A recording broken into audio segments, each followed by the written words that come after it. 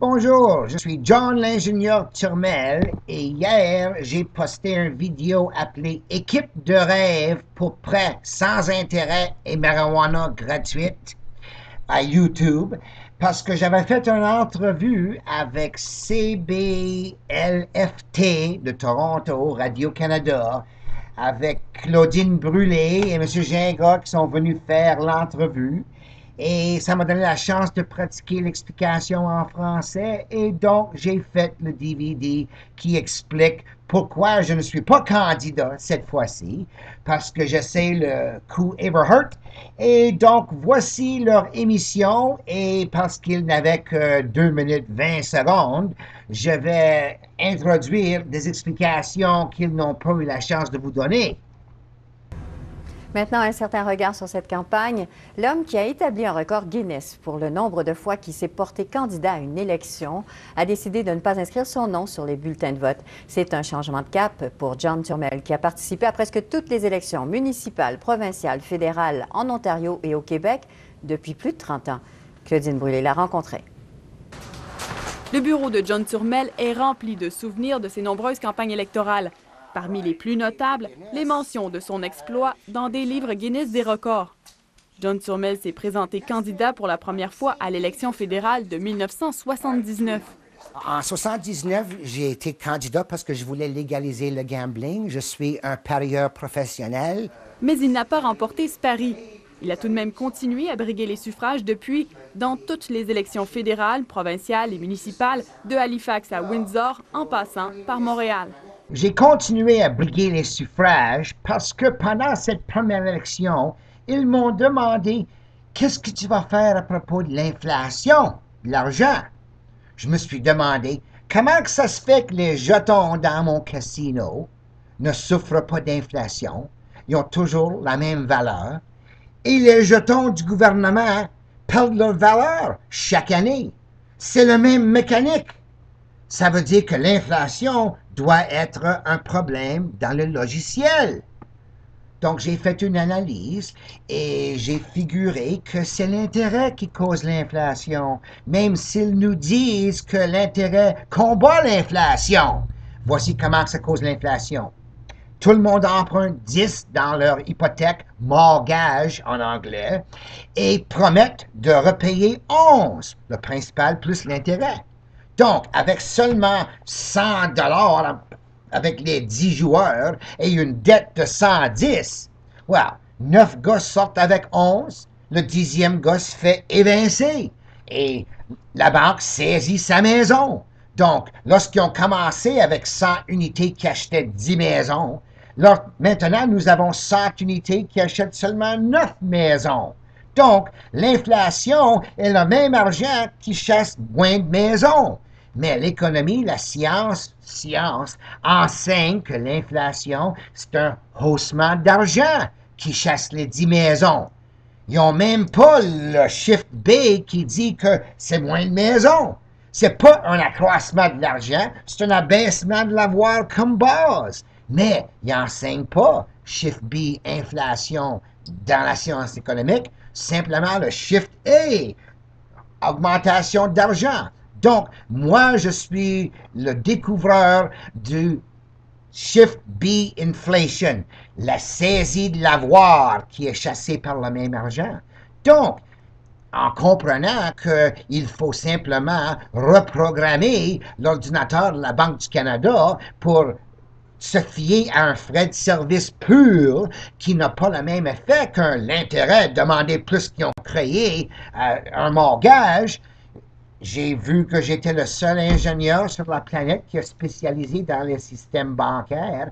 Ayant été le gérant d'un casino banque maintes fois, je connaissais comment bien faire ça. Et donc, j'ai vu que c'était mon devoir de continuer à essayer d'expliquer comment l'argent devrait marcher, sans intérêt, sans inflation.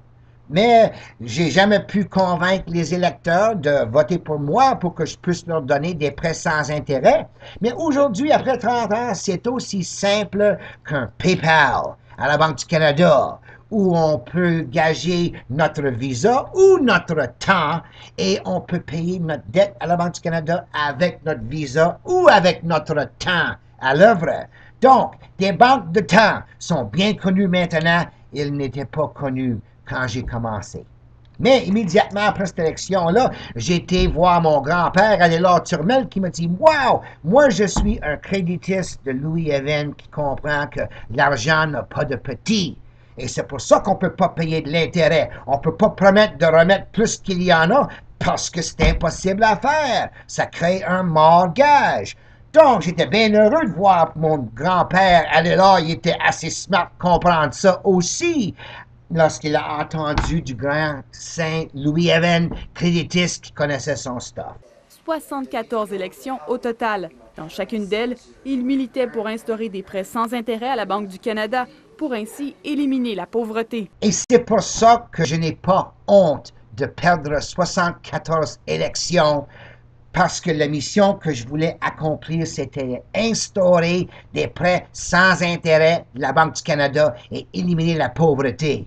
S'il y a un autre but plus valeureux que d'essayer d'éliminer la pauvreté, je ne sais pas. Et moi, j'ai pris 74 élections pour essayer d'y expliquer comment éliminer la pauvreté en donnant des prêts sans intérêt aux pauvres qui pourront les payer avec du travail.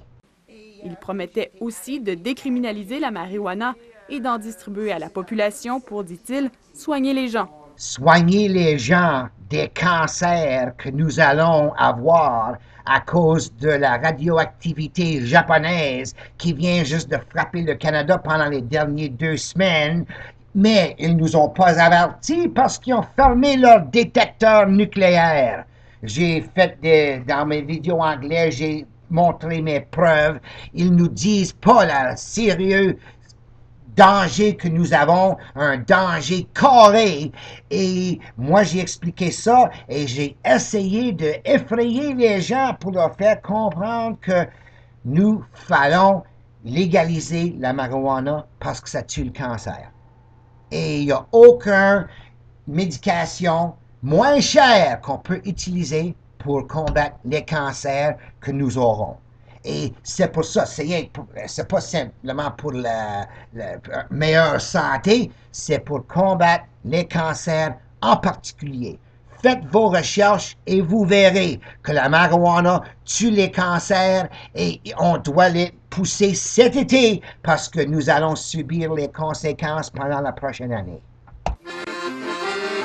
Campagnes. Ça, c'est la danse hongarienne numéro 4 que je joue dans mon Gypsy set de quatre chansons à YouTube et d'habitude je joue tous les jeudis, euh, les mardis à des maisons de vieux et donc euh, il aime la musique comme ça. Il les mène dans Internet. C'est dans le cyberespace qu'il explique ses idées et qu'il tente de joindre les électeurs, surtout avec des vidéos. C'est vrai, j'ai 200 vidéos qui expliquent comment vous sauver des dettes avec l'intérêt, comment vous sauver des cancers avec la marijuana et avec l'urine et d'autres médications, et comment nous sauver et nous bâtir un paradis terrestre en faisant le système bancaire sur la terre comme c'est fait au ciel. L'Internet, ça, ça change le jeu. Même avec simplement cinq jours avant l'élection, je sais que si ça peut devenir viral, viral, um, le message d'une équipe de rêve. Et c'est vrai. Des gens aujourd'hui ont des centaines d'amis et ils pourraient leur avertir que John l'ingénieur, il y a une solution à toutes les morts qui vont arriver à cause des cancers si on peut pousser la marijuana bien vite et on peut financer tout ça avec des prêts sans intérêt de la Banque du Canada. Il souhaite un engouement soudain des internautes pour sa cause, mais cette fois, il ne les encourage pas à voter pour lui. Il a changé sa stratégie et ne se présente pas candidat à l'élection du 2 mai. John Turmel tente plutôt une stratégie qui a fait ses preuves en 1935 j'essaie de faire la même chose que Bill Aberhart en Alberta. Quand il a fait une majorité, il n'était même pas un candidat. Il a dit votez pour mon équipe créditiste et vous mourrez. Et si vous votez pour la liste de candidats, que j'ai trouvé des petits partis qui ont déjà supporté les CEL, le logiciel des systèmes d'échange locaux sans intérêt basé sur le temps. Et nous avons le Canada Action, Libertarian, Marxist-Léniniste, Christian Heritage, même des Rhinos et finalement des Verts. Toutes ces partis ont déjà supporté des prêts sans intérêt et ça, ils ont en commun libertariens, marxistes-léninistes, quelque chose en commun? Oui, des prêts sans intérêt. Et c'est pour ça que j'ai choisi des candidats dans toutes les circonscriptions et j'ai dit que si vous les élisez, vous mourrez pour légaliser la marijuana et reprogrammer l'ordinateur de la Banque du Canada pour vous donner des prêts sans intérêt. C'est faisable.